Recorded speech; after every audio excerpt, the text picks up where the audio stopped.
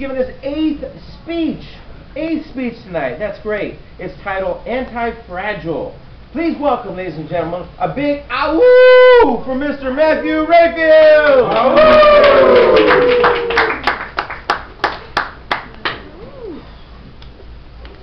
Matthew, ow! If you would allow me a moment to set up, especially uh, Mr. Timer there. You're good.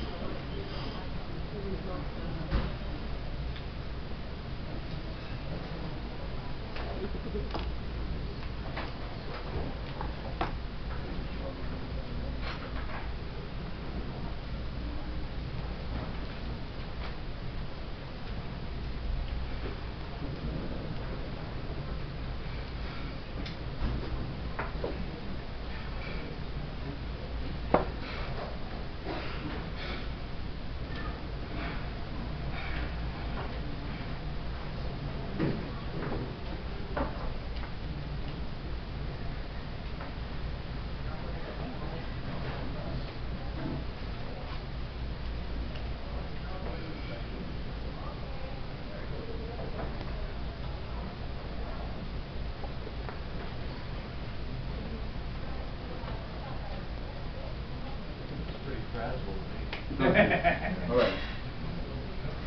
Fellow Toastmasters, most welcome guests. Over the weekend, I got my trusty Crayola markers, scotch tape, and poster board, and I made a little bit of a book report for you, channeling my inner elementary school student on a book that probably an elementary school student would not be reading. And the name of the book is indeed Anti-Fragile. Things that gain from disorder. The author here is Nassim Taleb in a slightly disgruntled picture, as he is slightly disgruntled throughout the book. And the purpose of the book is to explain the meaning of this word and this theory, anti-fragile, and how it affects our lives and implications of not understanding it. And so Nassim had about 400 pages to explain it. I've only got a few minutes, so I will get hmm. started here. Fragile, we all understand. This teacup is fragile, brittle, delicate. It doesn't like stress. It just wants to sit on your table and live a calm little life. If you knock it off the table, it'll hit the ground and, of course, break, or at least crack. Now, robust, this cup is more robust, made out of plastic. If you drop it, it probably won't break. You'll still be able to use it as a cup. But neither one of these things is anti-fragile. The opposite of fragile, something that when stress is applied to it actually becomes stronger. And in fact, your teacup will never be anti-fragile. Things that are anti-fragile are usually organic in nature. So for example, human beings are anti-fragile because through exercise, which is a form of stressing the body, for example, this weightlifter here, he'll probably be sore the next day. But after that, his body will become stronger.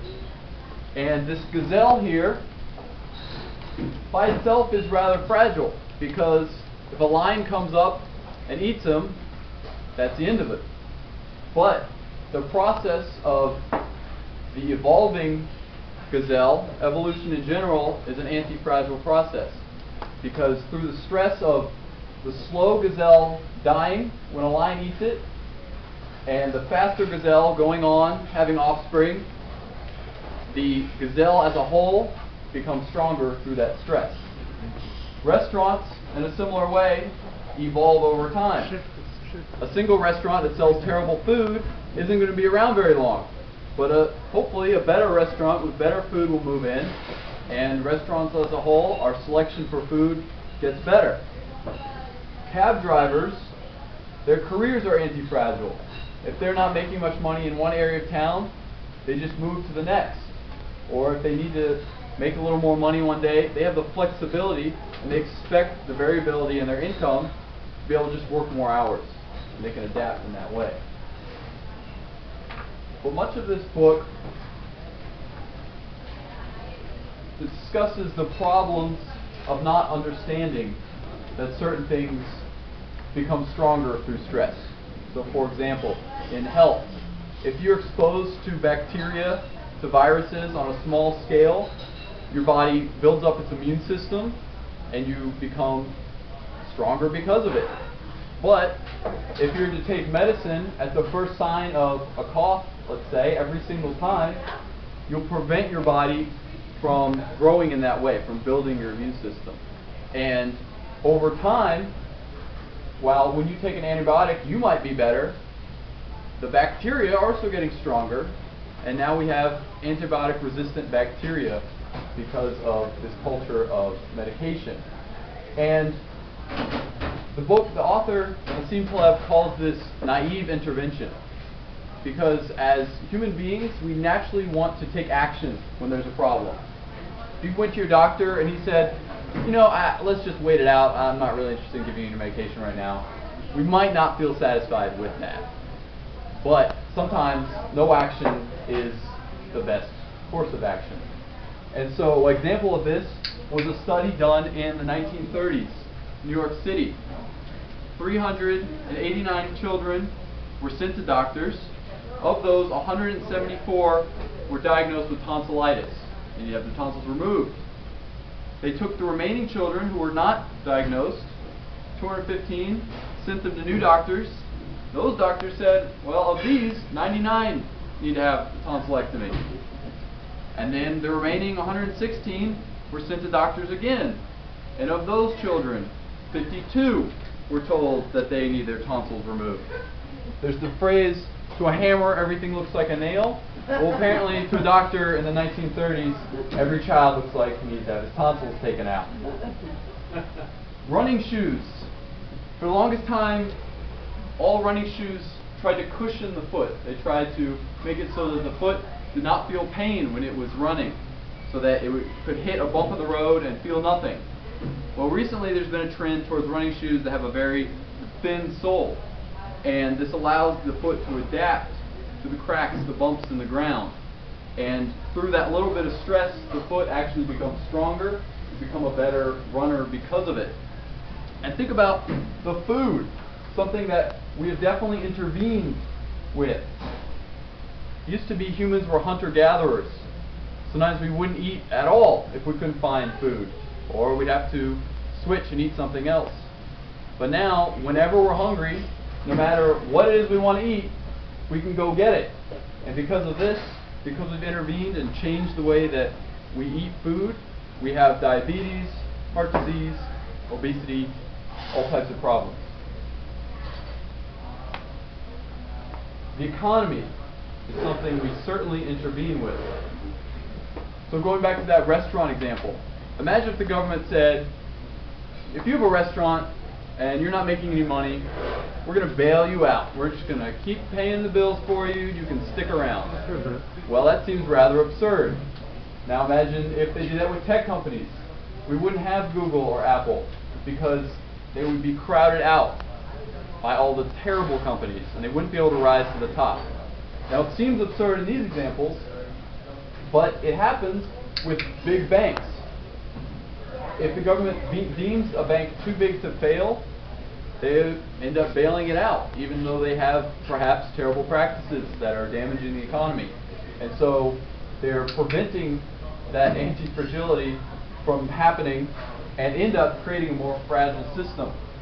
The author Nassim Taleb calls the people that make these policies fragilistas because they take something that otherwise would be anti-fragile and through policy making make it fragile.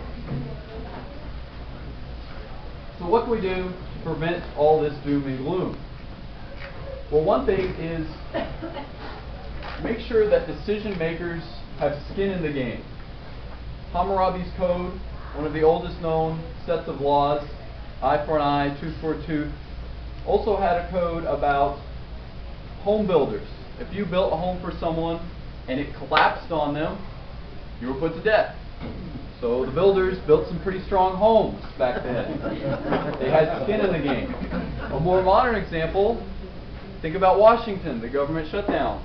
Politicians were still collecting their checks, still being paid, whereas most of the other people in the government were not. They didn't have enough skin in the game. They had not enough reasons to really resolve these problems. Another thing Taleb says to avoid is what he calls turkey problems. So imagine that you're a turkey and you've been fed all year long. It's great being a turkey. You've been fed for hundreds of days. And looking back in the past, you say, well, it's great being a turkey. Farmers just love us. Well, what you don't know is that Thanksgiving is right around the corner and the turkey population is about to drop off drastically. now, you would have never known that looking in the past.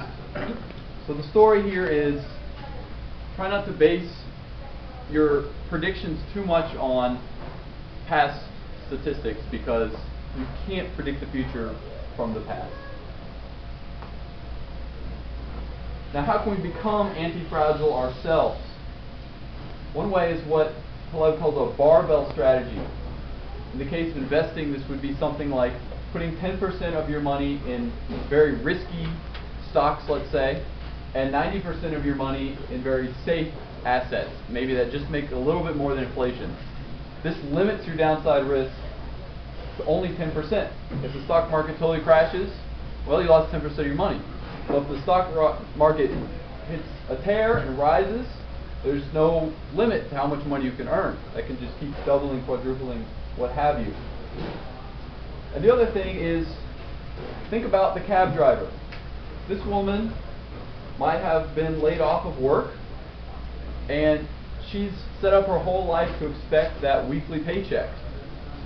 But the cab driver understands that his life is variable, understands that his income is variable, knows what to do. This woman doesn't because she relies on that paycheck. Now, you shouldn't probably go out and become a cab driver, but it might be good to be aware to think about what would happen if you didn't have that paycheck coming in. And so, the message of my speech and of the book is, like I said, not that you should become a cab driver, not that you should stop seeing your doctor, or that you should go home and reallocate all of your retirement funds, but just that be aware that many organic systems, organizations actually benefit from a certain level of stress. And perhaps we shouldn't do what we, the natural reaction is to smooth that out. Thank you very much.